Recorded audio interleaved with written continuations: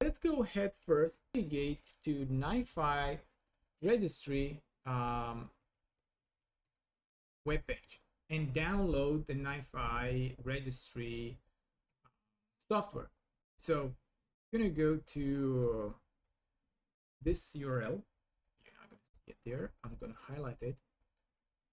And what you want to do, you want to download the zip. I already done that, so I'm not gonna go and download again the zip. But what I'll do, I will go back to my command line and uh, in my source folder like you guys remember when we installed NiFi we also downloaded NiFi registry so what I'll do I'll unzip this and put it in my OPT NiFi registry all right so we're gonna zip the content in that file in that folder. Now we're gonna go back go to red NiFi registry. Let's jump into this one and move everything. All right now let's get rid of the the old folder. Cool. Now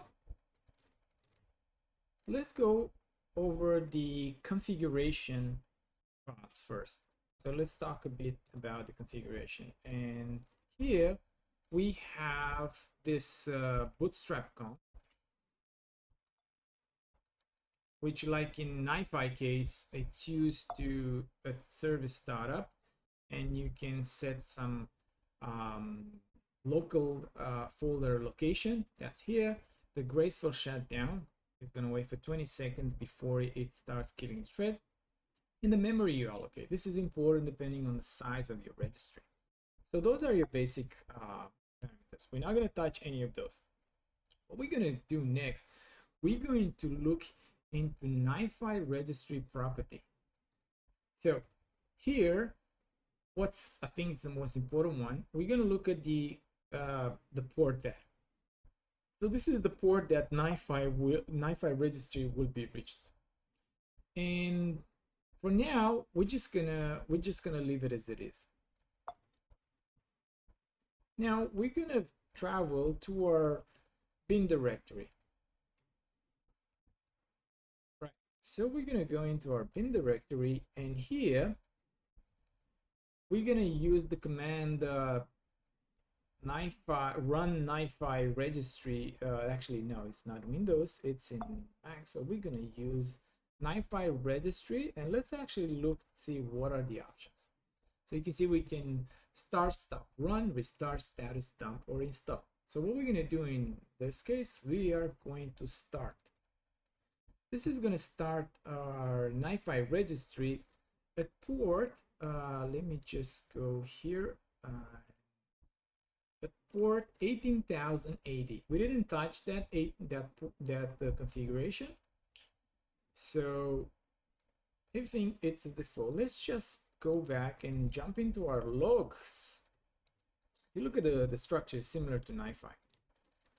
So here at the logs, we can if you have any issues with startup, you can query the logs and get more information if you want to debug. So right now you can see that the NiFi registry is available for us at this URL. So let's go ahead and open this URL.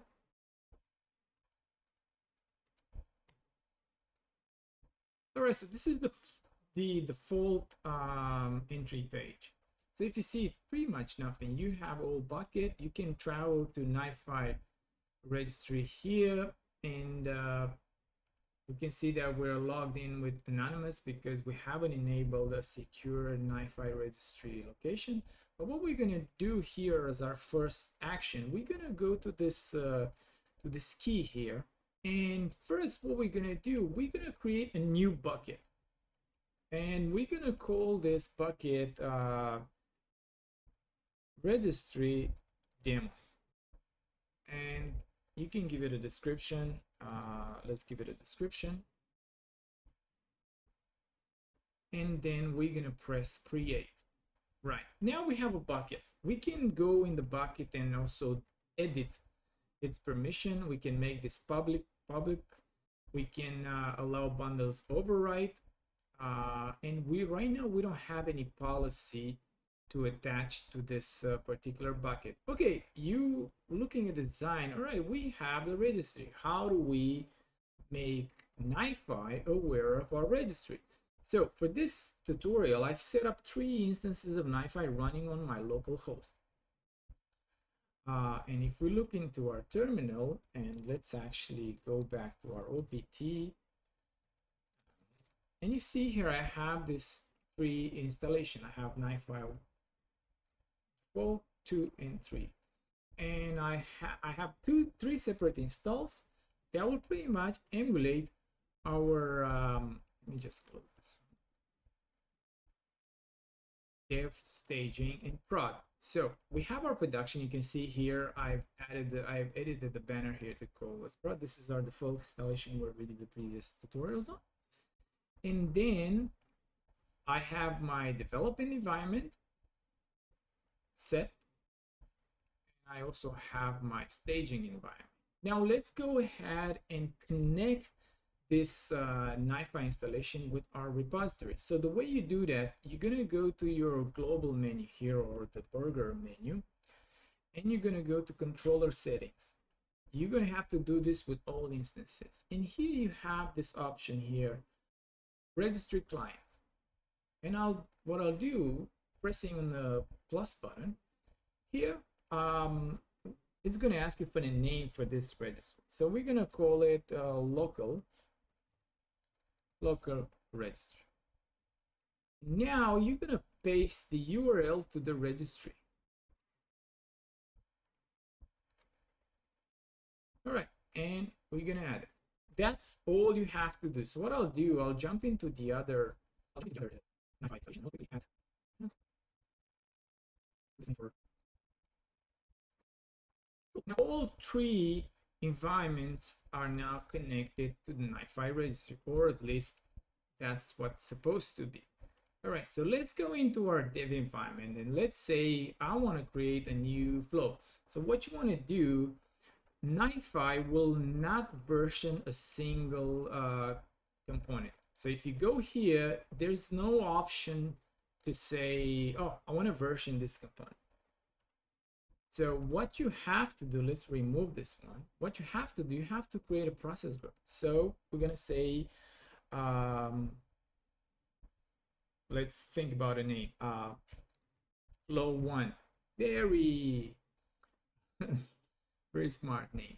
So if you see here, we already get some extra options. We can import something from an, from the registry. So let's let's click on this one and see what happens.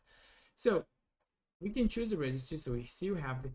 And now he can he will list the buckets that we have there. So if we go back to our um, registry here, you can see that's the name that uh, he displayed for us but we do not have any flows or uh, yeah any save flows here since this is a new one so let's go to our dev environment here I'm gonna click a process group uh, let's get back with our nice name here all right cool now that we have this one again there is there is uh, uh if you see here we're gonna get um, new item on our menu when you click right.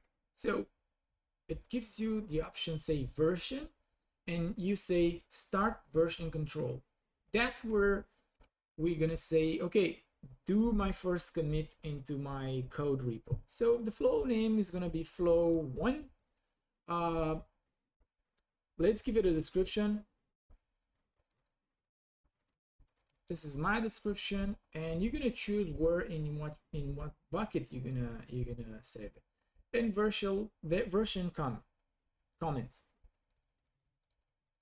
let's say initial commit cool now if you see something happen we get a, a green check saying that hey um, you are up to date with your current flow and uh, the registry acknowledged that he received the data or the code behind it. So if we go here and let's refresh this page, Now, jumping in the bucket, actually, let's go to the user.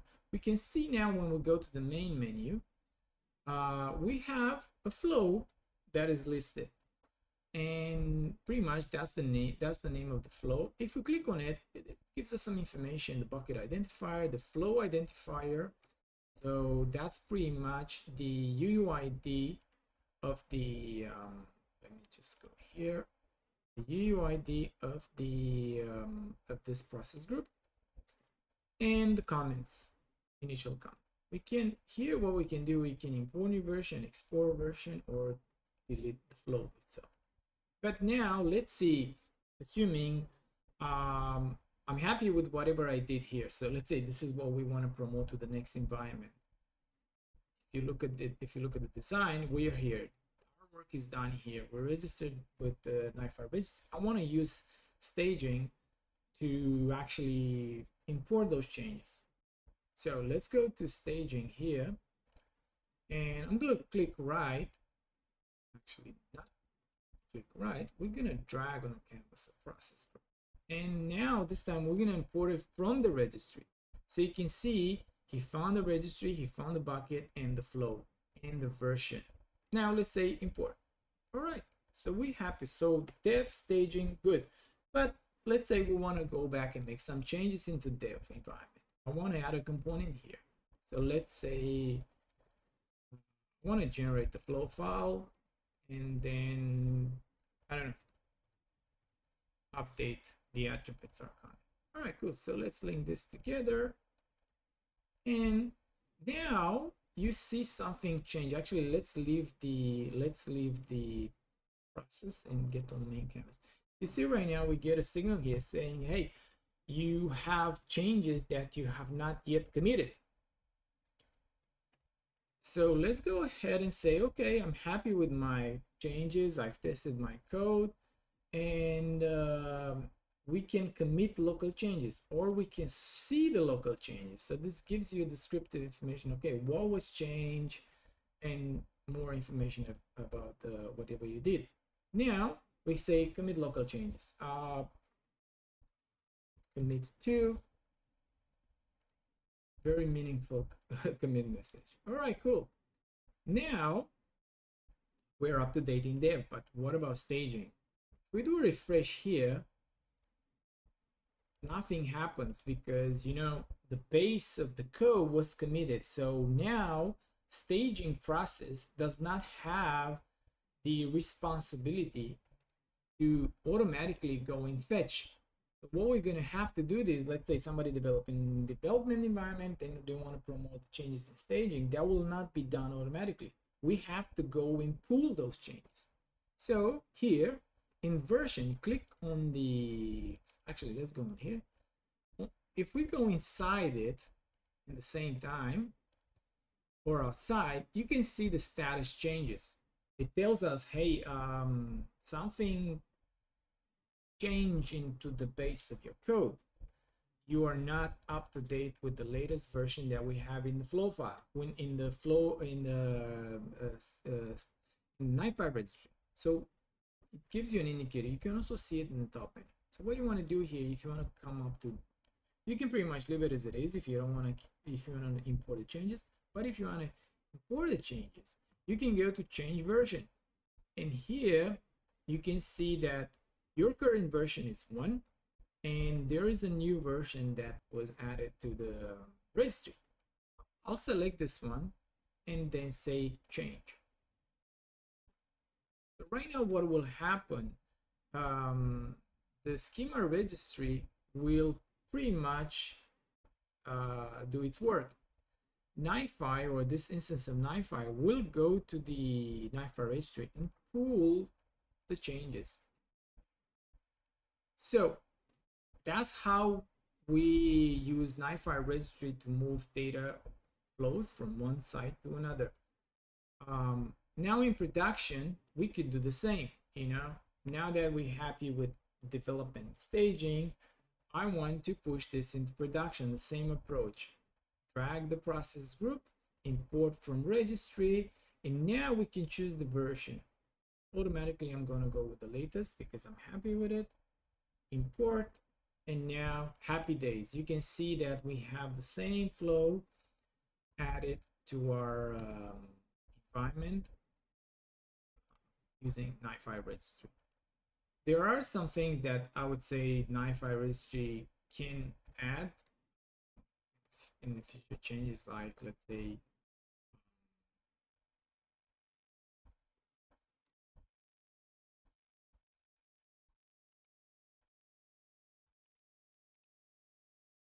All right, now let's review what we talked in this uh, video tutorial. We, talked, we saw how we can install NiFi registry. We talked about what's the use case for NiFi registry. We saw how we can integrate in, uh, integrate it with each of our three instances and how we can go through development stages um, you, by using NiFi registry to push our changes from one environment to another. Much faster than us doing a template and import templates um, and, and all that jazz which is really let's say uh, error prone. Okay cool. So that's a wrap for this video. I hope you guys enjoyed this content and uh, if so give me a thumbs up. Uh, if you haven't subscribed to my channel uh, please do so. If you if you like to follow the content there's more to come and I'll see you guys in the next tutorial.